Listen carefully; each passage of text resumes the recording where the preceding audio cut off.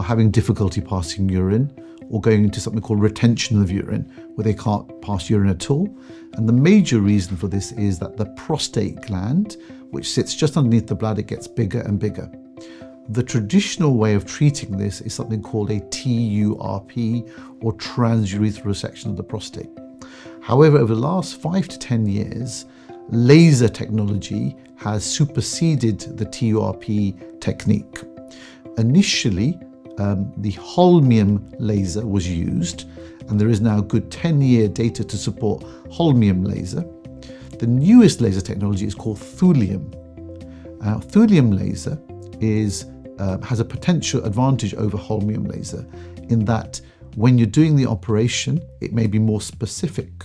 And also, there's much less bleeding um, during and after the surgery, which will make um, the inpatient stay much less and the recovery much, much easier um, for these patients.